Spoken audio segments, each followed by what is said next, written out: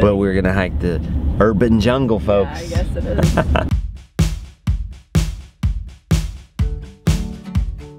Good morning, Boston. Hope this rain holds off. yeah. So we can do a, what are we gonna, do? we're gonna do like a two and a half mile historic walk. Is that right? Is that still the plan? yes. Rain or shine, folks. It's called the Freedom Trail, Yeah? and it's supposed to take us through some historic sites, and I believe we have a tour guide. Um, we're gonna find out once we get to the, the Boston Yes. Commons Visitor Center, and they are going to tell us where to sign up for all of that stuff. I like the walking tours. You got your Fitbit on? I do. We're gonna get our 10,000 steps in, that's for sure. Two and a half miles. Mhm, Mr. Brown's getting some rest, is always good. which is always good, especially before a two and a half mile hike. Does everybody else feel good? Everybody else ready to hike this city? Yeah. Yes. It's funny you say hike because I think of a hike in the woods. Not in the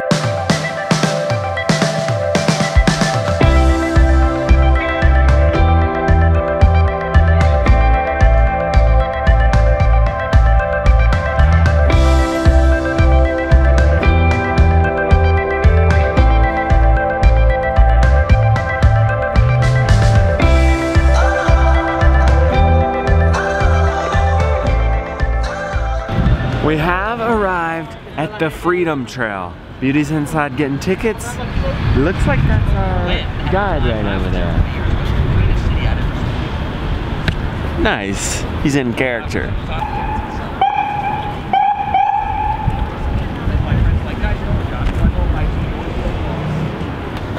Freedom Trail, the next guided tour at 3 o'clock.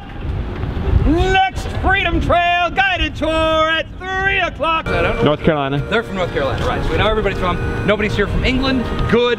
Welcome to Boston. My name is Captain Daniel Malcolm, not Mr. Daniel Malcolm, Captain Daniel Malcolm. I'm not allowed to film him, so let me sum up what he just said here. That's of interest. This park here, they used to graze cattle, sheep, animals here. It's actually still legal to this day, as long as you're a resident of Boston. I'd love to see that. Somebody raise a livestock on this field.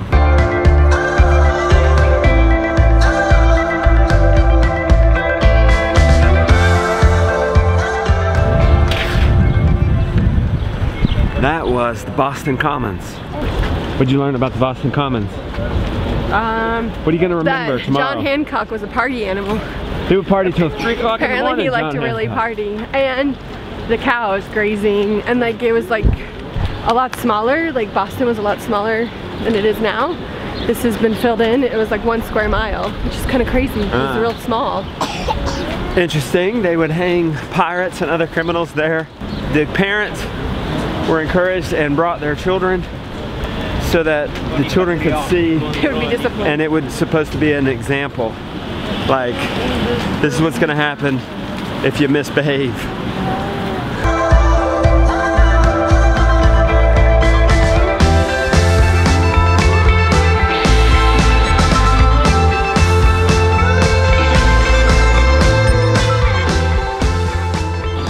Fifteen thousand people buried here, estimated, including Paul Revere. Wait a minute. John Hancock, Samuel Adams, and other famous people. Sam Adams' grave. Interesting fun fact. There's a bar over there. You could get a cold Sam Adams. Only place in the world. Drink a cold Sam Adams and see the grave. Fun fact, Sam Adams had nothing to do with the beer company. John Hancock's grave.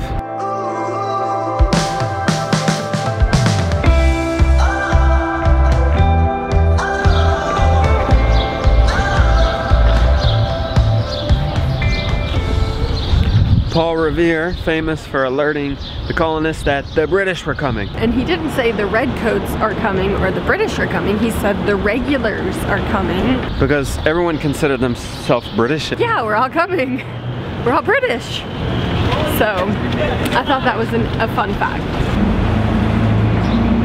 That was the first Anglican church in Boston, which is ironic because that's what the Puritans were running from in the first place. kind of mean of the king to do that, but I guess he had to show who was boss. Because the king couldn't buy the land or lease the land. the Of course, no Puritans. Puritan's going to do that. He confiscated it and planted that church there.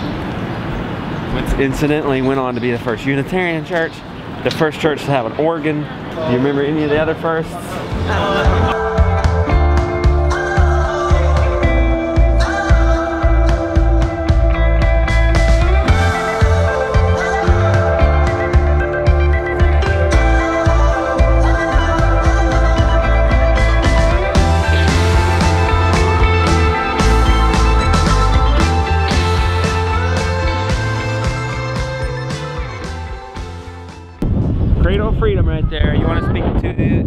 Speak about the Cradle of Freedom?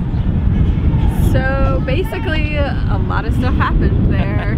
well, one thing that's interesting is that like ships could sail right up to it. So there's like a bunch of buildings that way, and I worked Because it has a there. landfill Yeah. now. Funerals were held there, and Thomas Jefferson. Thomas Jefferson politics was was was talked about in the upper room. They did they had shops in the bottom.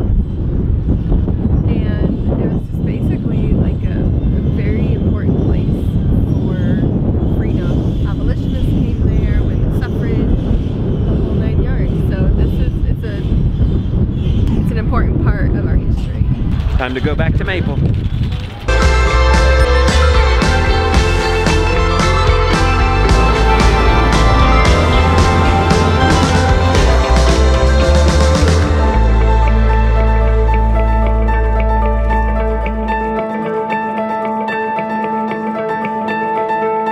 anybody learn anything?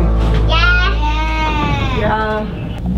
Back in the car into the five o'clock rush hour traffic. We picked a heck of a time to leave Beauty. Wow, it's not our fault, it's the rain. So hey, what what time? What did you learn? Did you learn anything, Lily? Just that. What'd you learn on that tour? Um, that the cow goes on a pasture. Yeah, they could graze a pasture right in the middle of the city. What'd you learn, buddy? They threw all the tea off the boat in protest. Yeah. Just Gideon, what'd you learn? Um, what e? Horsey. Oh, we learned about the horsies. Oh. And we talked about Paul Revere's horse. Oh, that's right. Paul like that. Revere rode the horse. We're heading back to Maple now. We leave the town tomorrow. Where are we going, Beauty? We are headed to near Acadia. Acadia National Park. We are going well, not going May. all the way there, but yes. Where are we going tomorrow? We're going to our campground. So, okay, travel day tomorrow. We're going into Maine. Three cool places in Maine. Mm-hmm. Acadia National Park. Jim, you guys remember him? Farm down in South Florida. He's now up in Maine getting started. And we're going to your childhood, lifelong, Take a slight left turn. and then we're going to your. She's looking at me crazy because that's not right, so I won't say that. We're going to a blueberry farm that you've been in love with for a long time. We cold called them. They opened up their arms to us, which is not always the case with a cold call. We mm-hmm. about give up on cold calls, but that one has redeemed it. Are these blueberries you've bought? No, I haven't bought them yet. I'm going to when we go there. Okay, so how do you know about this farm? I got into blueberry tea and I wanted to find, I just started researching blueberry farms that made blueberry tea. Like I just wanted to get a better blueberry tea than I was buying at my local store. Because I didn't think it was, I think it wasn't real blueberries. And so then I was like, well, uh, why am I drinking this? Is this real blueberry tea where we're going? Okay. Yeah, they sell in Maine and they sell online and everything. So you guys can. Maine, here we come. Jim, Acadia, and the epic blueberry farm. Before we close out this vlog, the beautiful one has a word of encouragement she got from one of her Facebook friends' posts. This girl was in our in a youth group that we worked in. She's now like 30 and she is just a really great encouragement. Her name is Whitney and we love her to death and we may see her on the vlog when we hit Herd City. Anyways, she was posting about that basically we are holding a bunch of balls in our arms and we're walking through life and the balls represent peace and some people are coming along trying to take the balls out of our arms And then there's people that we meet in our lives that are trying to help us pick up the balls that have been taken out of our arms and put them back in so that we can live a whole and peaceful life. And it just really spoke to me today that I want to be the latter. I want to be someone who's encouraging. I want to be someone who's loving. I want to be someone who's restoring people to their whole peaceful self. It was a really great post. I really was encouraged by her and what she was having to say and I have no idea where I'm going. Okay. That was another thing that she said is that we need to not allow people so much power to get the balls out of our arms. And so I take that as an encouragement.